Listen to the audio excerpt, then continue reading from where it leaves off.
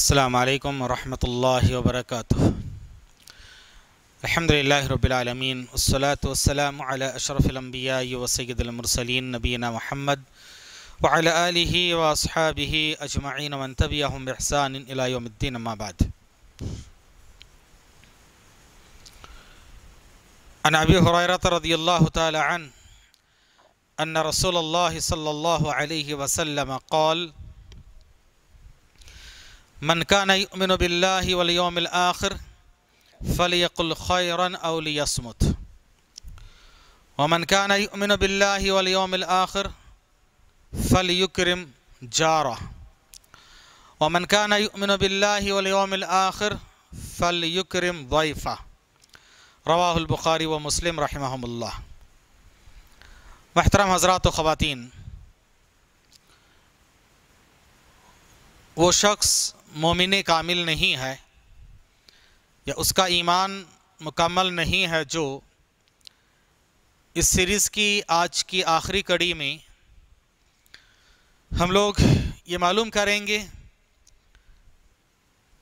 कि मेहमान का हक़ क्या है। मेहमान नवाजी करना ये भी ईमान की अलामत है तकमिला ईमान है।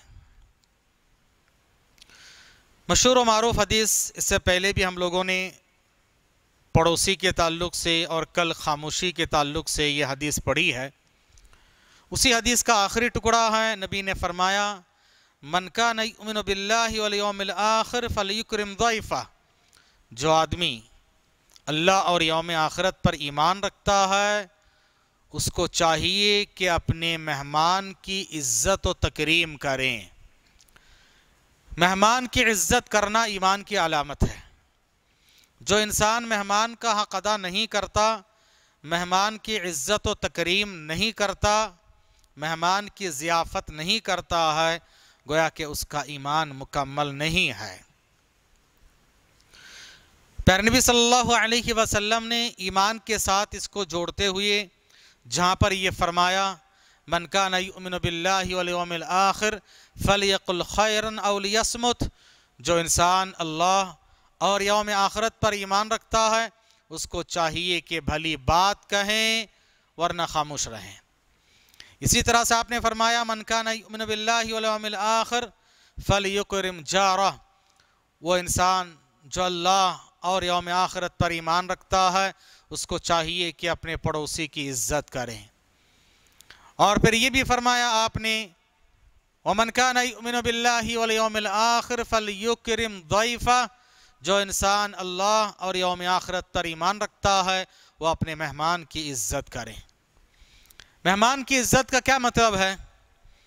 मेहमान की इज़्ज़त का मतलब ये है कि सबसे पहले मेहमान को खुश दिली के साथ इस्तकबाल किया जाए, वेलकम कहा जाए, और फराग दिली के साथ, खंदा पेशानी के साथ, मुस्कुराते चेहरे के साथ उसको रिसीव करना चाहिए, उसको बिठाएँ, उसकी इज़्ज़त करें और उसकी इज़्ज़त में ये बात दाखिल है कि उसको अच्छा खिलाना चाहिए।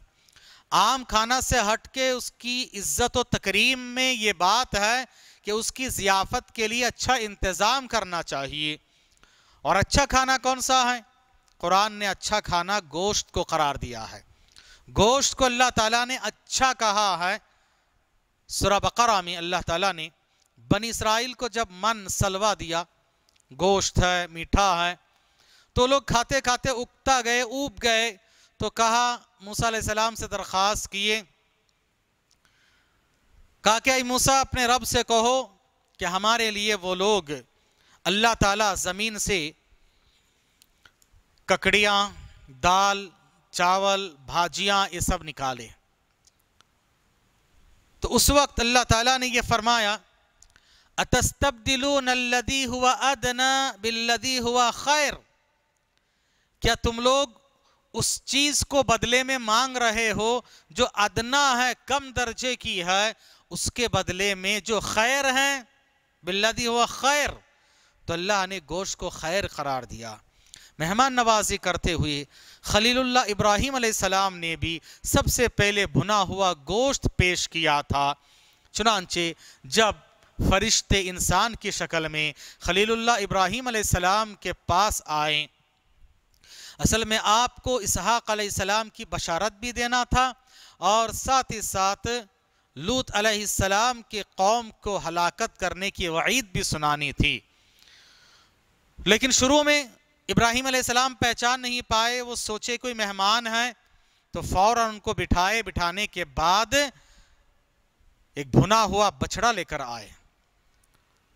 वजाबिन हनीद, भुना हुआ बछड़ा लेकर आए। बछड़ा जिसको अच्छी तरह से भुना गया, भुनने के बाद लेकर आए और उनकी खिदमत में पेश किए। लेकिन वो लोग जब नहीं खाए, तब इब्राहिम सलाम को पता चल गया कि ये नहीं खा रहे हैं, शायद इंसान ना हो, फरिश्ते हो, नबी थे, वो समझ गए थे। बहरहाल, मेहमान की इज़्ज़त और तकरीम में ये बात है कि मेहमान के साथ अच्छा सलूक हो अच्छा बर्ताव हो और हत्तल मकदूर, अपने बिसाद भर उसके लिए खाने पीने का अच्छा इंतज़ाम करना है। मशहूर मरूफ हदीस, मेहमान नवाजी की एक बेहतरीन मिसाल से मुस्लिम की रिवायत है। प्यारे सल्लल्लाहु अलैहि वसल्लम के पास मेहमान आया। आप सल्लल्लाहु अलैहि वसल्लम के पास मेहमान नवाजी के लिए कुछ नहीं था। तो आप सल्लल्लाहु अलैहि वसल्लम ने फरमाया कि कौन है जो आज की रात मेरे इस मेहमान की मेहमान नवाजी करेगा? मैं युदफ़हाद रहिमहुल्ला अल्लाह उस पर रहम फरमाए, कौन है जो आज की रात इसकी मेहमान नवाजी करें? मैं युदफ़हादा अल्लाह कौन है जो आज की रात इस मेहमान की मेहमान नवाजी करें? अल्लाह उन पर रहम फरमाए। नबी ने ये दुआ भी दी। और अचानक की बात थी। एक साहबी उठे, कहा कि अल्लाह के रसूल, मैं मेहमान नवाजी करने तैयार हूँ। घर लेकर आए मेहमान को।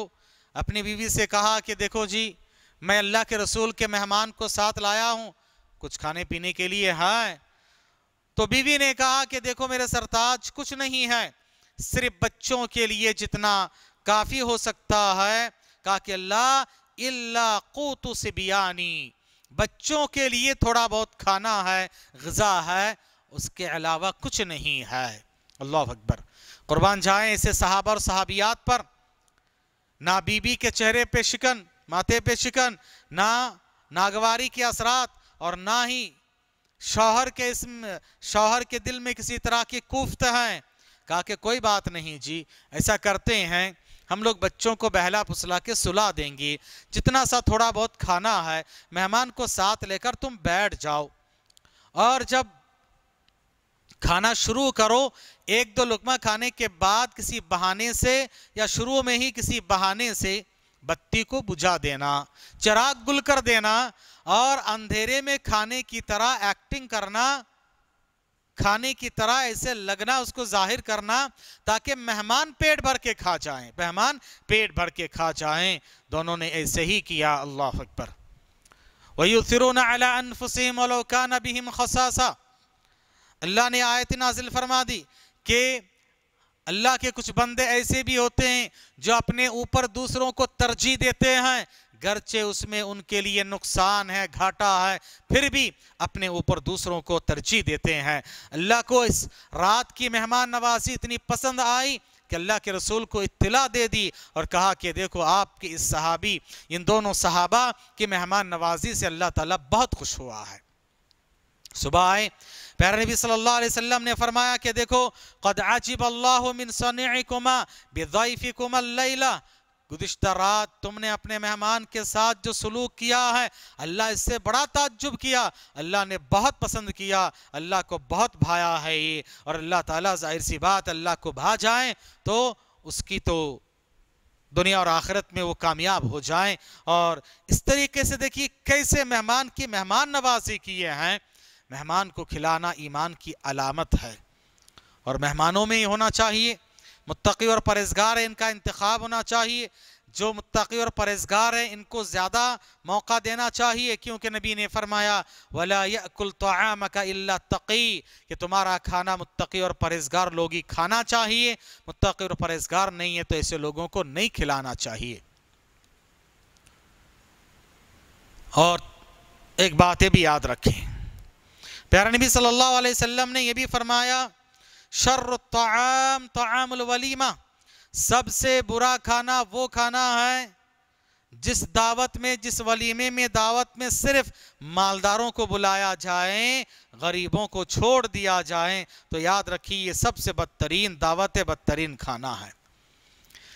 मेहमान की मेहमान नवाजी का हक कितना है? प्यारे नबी सल्लल्लाहु अलैहि वसल्लम ने सही बुखारी और मुस्लिम की और एक रिवायत में इसकी वजाहत फरमाई कि मेहमान की मेहमान नवाजी का हक कितना है? आप सल्लल्लाहु अलैहि वसल्लम ने फरमाया कि ज़ियाफ़त तीन दिन तक है। मेहमान, तीन दिन तक उसका हक है। उसको खिलाना, पिलाना, अच्छे से रखना अच्छा खिलाना, तीन दिन तक उसका हक है। तीन दिन के बाद कहा कि एक दिन और एक रात अतिया है। उसके बाद भी एक दिन रुक गया है। तो समझ लीजिए, चौथा दिन उसके लिए ये अतिया है, गिफ्ट है। उससे आगे भी रुक गया तो गोया कि हर दिन के बदले में सदका है। सदक़े के बराबर सवाब मिलेगा। फिर प्यारे नबी सल्लल्लाहु अलैहि वसल्लम ने मेहमान को यह तालीम दी कि मेहमान से कहा कि देखो, अपने मेज़बान के पास इतनी मुद्दत ना ठहर जाओ कि बेचारे को गुनहगार बना दो। यानी तुम उसकी हालात को भी समझो, देखो कि बेचारा मेहमान नवाजी कर सकता या नहीं कर सकता है। नहीं कर सकता है, आप ठहर गए, आपकी मेहमान नवाजी नहीं कर पाए तो गुनहगार बनाने का जिम्मेदार आप हो गए। गुनहगार बनाने का मौका आपने उसको फराहम किया है। इसलिए मेज़बान को चाहिए कि मेहमान का ख्याल रखें और मेहमान को भी चाहिए कि मेज़बान का ख्याल रखें। दोनों जब आपस में एक दूसरे का ख्याल रखेंगे, इस्लामी माशरा और माहौल अच्छा होगा। हम आखिर में अल्लाह ताला से दुआ करते हैं। अल्लाह तबरक ताला हमें और आपको कहने सर सुनने से ज़्यादा अमल की तोफ़ी अता फ़रमाएँ। आलमीन, सारे मुसलमानों के जान, माल, इज़्ज़त आबरुद्दीन ईमान की हिफाजत फरमा और अपने ईमान को जला पहुँचाने, ईमान में को मुकम्मल करने के लिए जो बातें थी, इन पर अमल करने की तोफ़ी अता फ़रमा, आमीन। सुबह का अस्तक फिर का तो नबीना महमद अल्लाम वरहमल